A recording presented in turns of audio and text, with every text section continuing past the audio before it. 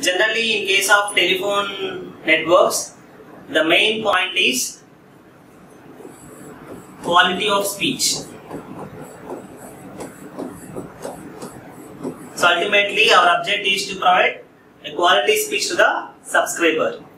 For example, the quality of speech is not good. That means you are getting some disturbance at the subscriber end. He may not, he may not satisfy. Generally, we are going to determine the customers. Generally, the telephone networks are interested to uh, specify the quality in terms of the subscriber satisfaction. It is called as uh, reference equivalence. A rating system standardized by CCITT to grade the customer satisfaction is known as reference equivalence. So ultimately our object is to provide a quality speech to the subscriber for the satisfaction. Generally we measure the satisfaction as a parameter called as a reference equivalent RE. So RE of a telephone how to measure what are the equipments you can see in this uh, system is one is uh, a telephone set at a transmitting end as well as at receiving end. This is first one. Second one is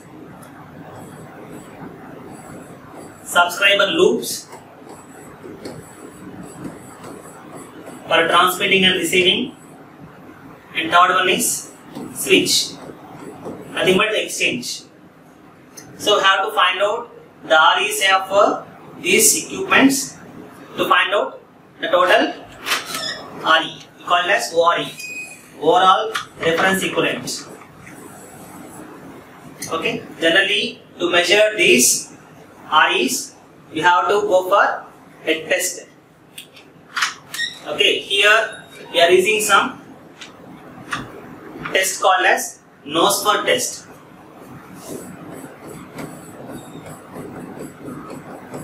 NOSFER test we are going to conduct here. To, to know the status, customer satisfaction or to find the REs, we have to use and NOSFER test which is uh, conducted at Geneva which contains some standard transmitters, receivers and cables. With help of those equipments, we are going to find out the reference equivalents of our telephone set, receivers and the cables. So for that we have to follow some setup. This is called as a NOSFER setup. One is for transmitting for finding TRE. What TRE stands for? For transmit reference equivalent and RRE means receiver reference equivalence. Okay. So here this is the test equipment, a test transmitter and this is the NOSFER transmitter. Here to test the speech we use one language called as a logatom. So logatom is one one type of uh, standard language used for testing the speech quality. Logatom means it is nothing but one consonant plus one vowel followed by one other consonant. This is going to form a one syllable word which uses a one syllable word comprises of one consonant plus one vowel followed by another consonant. So here to perform these tests, it, they are going to use some trained listeners and a triangle, speakers are required. Okay, here they are going to transmit this. So speaker is here and the listener will be here. Okay. So here, to this is a test equipment. So, so here the test equipment, the quality of the test equipment is analyzed with help of this uh, adding or removing the dBs. For example, I can take as TRE as positive means the test equipment is, is having inferior quality. If TRE is negative, it means test quality test equipment is having a better quality when compared to the NOSFER standards. Okay, so here we'll solve, see one problem to find out the ORE. So the main point here is I have to find out the overall reference equivalent of a local call. They are giving some specifications here. For telephone set, the TRE is some 3 dB and RRE is minus 3 dB. And for subscribers, loop, the TRE is 10 dB and RRE is 8 dB. And for switching exchange, the RE is 1 dB. So it is simply looking like this. This is your telephone set and the transmitting end having 3 dB. This is a transmitting end uh, wire. It is having 10 dB. It is connected to an exchange. So this is switch which is having 1 dB and this is the receiving wire having 8 dB and this is the receiving telephone set having that RRE minus 3 dB. So generally the ORE is given as sum of these REs. So this is 3 plus 10 plus 1 plus 8 minus 3. So nothing but 19 dB is the overall reference equivalent for a given local call. Okay. ఇంకో five minutes అవును time ఉంది కదా one hour time కదా నాకు మొత్తం one hour అయిపోయినప్పుడే so the main objective is to find out the overall reference equivalent for a local call in this problem, which is given as 19 dB. So here, what are the points you have to remember here? What is the meaning of positive dB and what is the meaning of negative dB? Positive dB means to bring this is the NOSFER and this is our test equipment. So to bring the test equipment standard equal to the NOSFER, we have to add some dB of some dB. Then we can say that it is having a positive TRE or RRE. Okay, to bring the test equipment standard to the NOSFER standard, we have to add 5 dB or some dB to the system. That is called as, then you can say that this test equipment is having a positive dB, positive TTR, TR, TRE or RRE. For example, to bring to bring the test equipment standard to the NOSFER, if I remove some dB from the test, then we say that it is having a negative TRE or RRE. Clear? If it negative means what it indicates? Negative means the test equipment is having more standard than the NOSFER standards. Okay? So you have to remember these two points. Why it is positive and it is, it is negative. Okay? And come back to here. What are the points I have studied here? The attenuation limits. The first thing is quality. Speech quality is important. So to get the quality speech output, we have to standardize our equipments. What are the equipments we are having? The equipments is a telephone receiver and a transmitter and the cables and the switching exchange.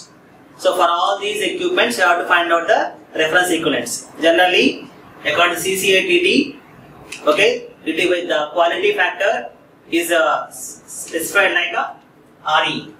The grade of customer satisfaction is known as uh, REs. Okay.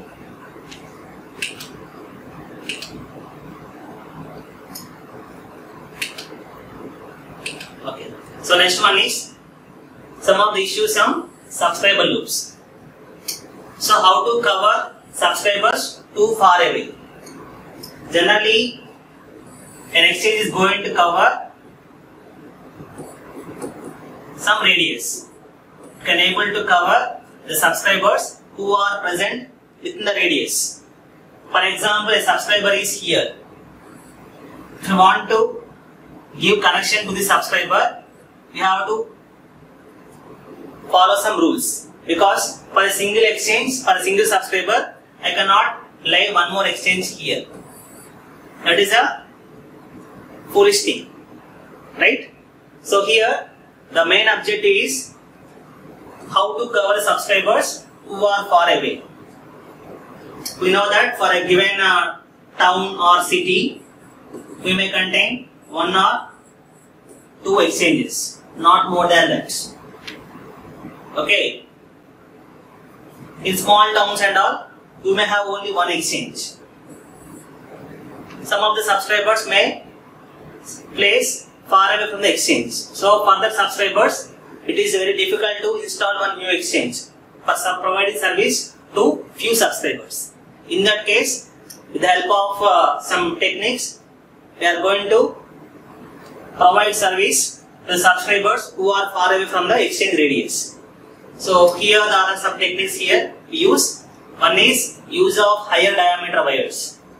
So why what is use of using higher diameter wires? Let's see, go back to the table. So this is having the highest diameter. As diameter increases, the resistance decreases. So since the formula is there, more the diameter, lesser the resistance. Therefore, as the resistance is less, we can still increase the length of the subscriber loop. That is the first technique they will follow to accommodate a subscriber who is far away from the exchange radius. Second one is use of equalizer telephone sets. So generally the ordinary telephone set requires 23 microamperes of current for proper energizing. Right? This is the point already we know. So what are the factors that limiting the length of the loop means I is equal to V by R. If current is reduced for a fixed voltage, then you can increase the resistance for a given current limits. Therefore, the idea here is if I am using a equalizer telephone set, this telephone set requires some 8 to 12 milliamperes of current for proper operation of microphone. This equalizer telephone set uses 8 to 12 milliamperes of current for its proper operation.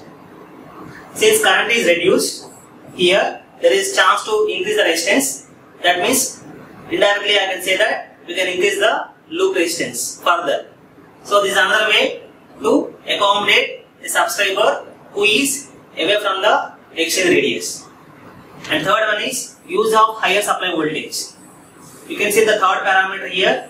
If you still increase supply voltage for given current I, for a given current I, if I increase the voltage further, there is chance to increase the resistance.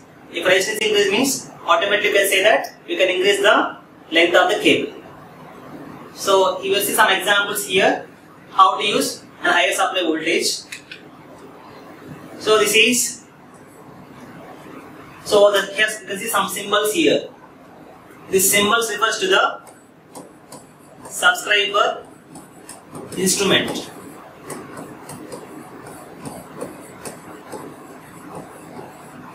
Okay, and this some symbol refers to the loaded cables.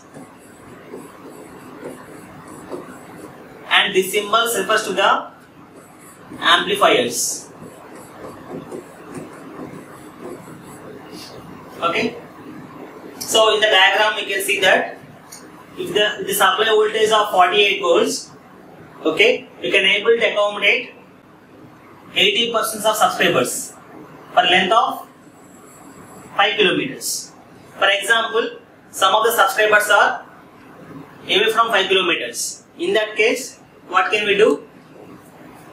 If I can able to increase the supply voltage, therefore I can able to accommodate subscribers who are in the range of 5 to 8 kilometers. So 95% of the subscribers can be covered. Okay. So still if I want to increase the more number of subscribers, I can go for a loaded cables. So if I'm going to use loaded cables, I can increase the loop subscriber distance between the exchange is 10 kilometers. So what is loading? So already in uh, EMWTL subject, we studied the concept of loading. Loading means adding wire or wounding wire over the conductor is called as loading. So what advantage of loading? Loading reduces attenuation. Generally, the loaded cables are having less attenuation when compared to the ordinary cables. Generally, loaded loading is nothing but adding inductance. Adding inductance to the line is called as loading. So, to load the cable, we have to wound the wire on the cable.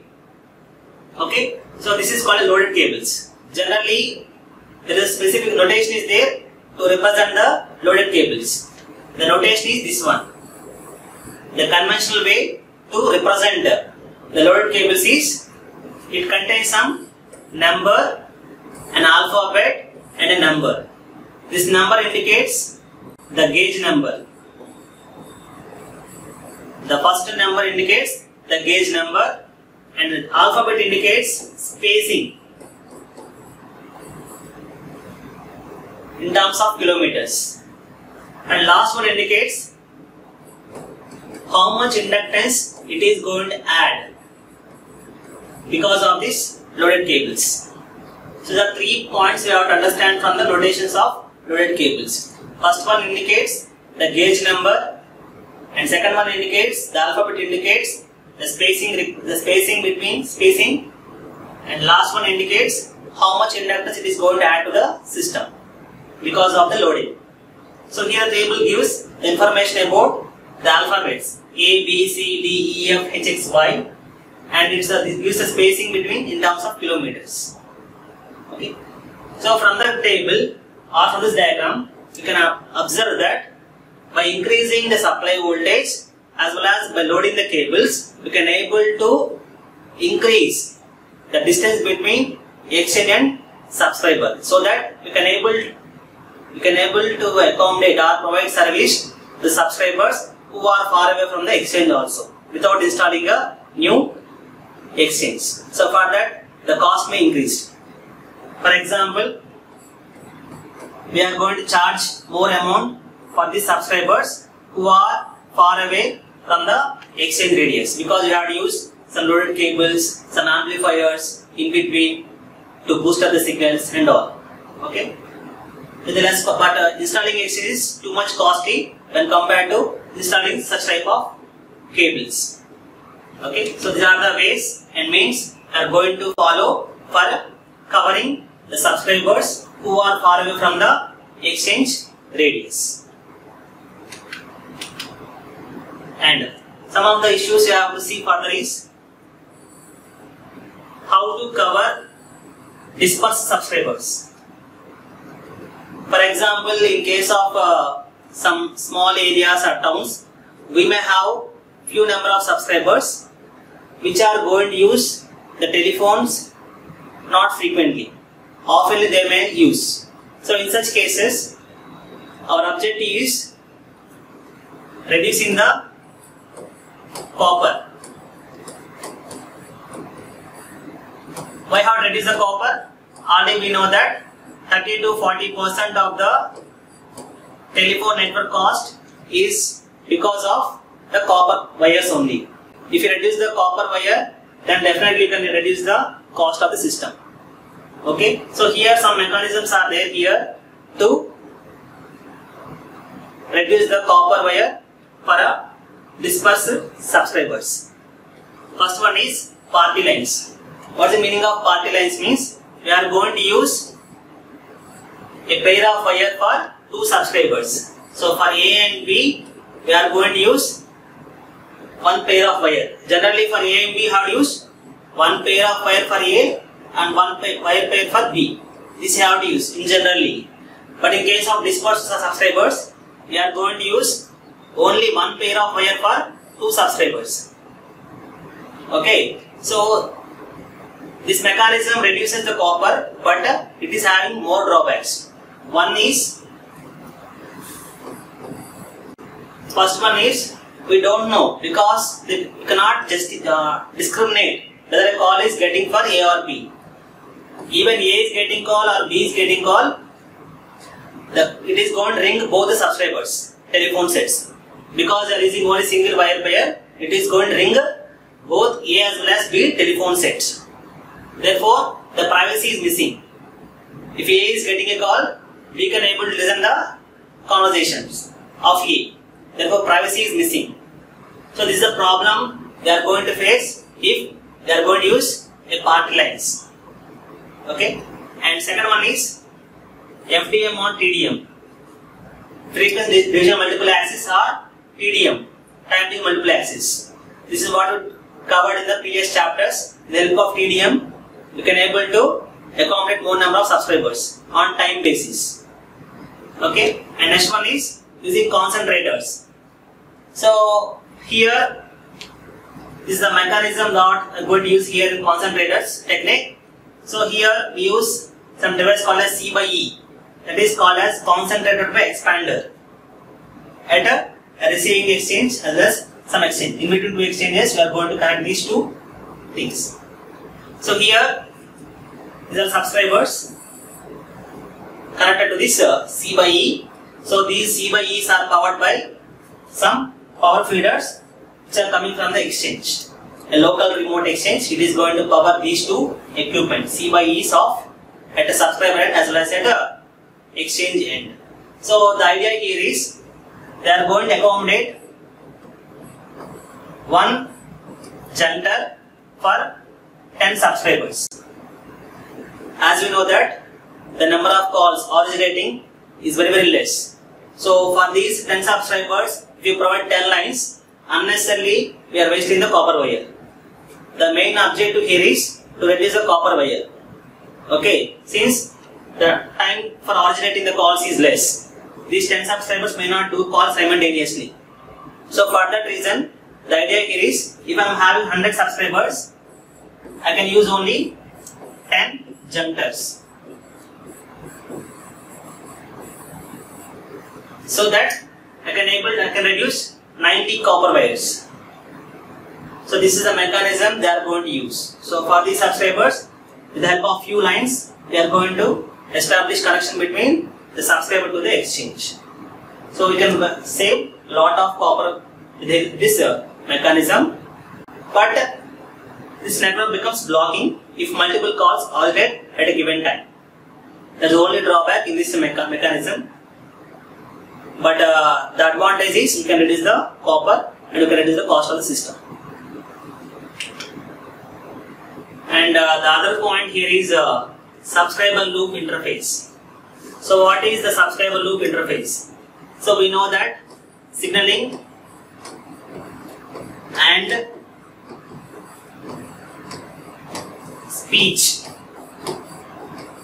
transmission is present between the subscriber and exchange. So to interface these subscriber and exchanges, we have to use some interface mechanism. So directly you cannot able to connect the subscriber and exchange. We have to use some subscriber loop interface mechanism in between the subscriber and exchanges. So this uh, subscriber loop interface should perform some functions. So whatever function that should perform means it is a shortcut method, shortcut, short form you have to remember here, BO or SCHT. So B stands for battery feeder, O stands for over voltage protection, R stands for ringing, S stands for supervision, C stands for coding, H stands for hybrid, and T stands for test. So these are the functions that a subscriber loop interface has to perform. So already we covered some of the points in previous class itself. The battery feeder we covered and the ringing we covered in the previous classes. And some of the points are know here is what is the use of all voltage protection, supervision, ECM, hybrid and testing. Okay, so here coming to all voltage production. So here we use the help of an L2 wire, we are going to protect the system from the over voltages or surges. So for that we have to use some differential circuits. So the use of different circuit is whatever the common that is it is going to suppress the common mode signals. So generally the noise or you can call it as surges. Because surge is common for both the circuits that can be nullified with the help of a differential circuit. So with the help of a differential circuit, differential mechanism, by providing earth wire, we are going to protect the circuit from the over voltages. Okay. And next one is supervision. So we already know that for every 5 microseconds, the exchange has to scan all subscriber lines for checking the off condition. This point already covered in the unit 1, right? The exchange has to scan all the subscriber lines for every 5 microseconds to verify the off condition so that it can able to send the dial tone to the subscriber. So this is nothing but your one of the supervision operation that should be done by this uh, subscriber loop interface system. Coming to the coding. Generally, you can use either an analog or digital switching systems that already covered in the previous classes. So if it is analog means simple uh, simply with the help of the wires can able to connect. If it is a digital means you have to go for conversion. It has to use either a D to A converter and a to D converters at the ends. Because speech is analog in nature, it should be converted first from analog to digital and it should be transmitted and at the end again have to convert it to digital to analog. So for digital transmission, we use some PCM coding techniques. Okay, that is called coding. What is hybrid? Hybrid means so generally for analog, it uses a two-wire mechanism. So one for transmitting and one for receiving. If you come to digital, so if the two wires are not sufficient to transmit signal, it uses four wires. Two wires for transmitting and two wires for receiving. So here we know that for longer distances, you should use amplifiers in between the circuit because this amplifier requires two wires generally. Therefore, in while connecting while converting analog to digital digital uh, networks, we have to go for a four-wire mechanism. So hybrid nothing but it is a two-wire to four-wire converter. It's called a hybrid circuit. So finally, it is called as consumer testing. So for this uh, coding hybrid testing comes under for uh, digital transmission and uh, extra when compared with the analog transmission. So these are the some of the topics, and this is circuit which uh, gives, which is used for converting a two wire to four wire. This is called as an hybrid circuit. So we see here, a telephone is a two wire mechanism because it receives only analog signals, therefore it requires only two wires. It is mapped to a digital uh, transmission it contains some, it requires four wires. Two for incoming and two for outgoing. Okay? So here by properly matching the impedances, we are going to isolate the input, input and output. Okay? By properly biasing or choosing this uh, impedance, we are going to nullify any signal that is connecting between the in, input signal and output signal. Okay. So it uses since it uses it is internally it uses some transformer techniques. A transformer for dividing the signals. So this is about an hybrid circuit which is used to convert a two-wire system to a four-wire system, which is used for digital transmission. Okay, so this is about subscriber loop interface system. In the next class, we'll discuss about the routing plans. Thank you.